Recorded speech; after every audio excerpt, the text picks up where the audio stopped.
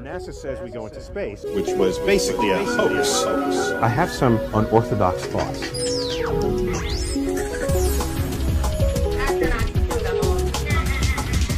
Earth, Earth is flat. Flat. 500 years ago, everybody knew the Earth was flat. Sorry, Neil.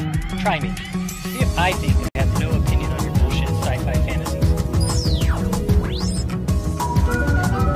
I have some unorthodox thoughts. Sci-fi fantasies.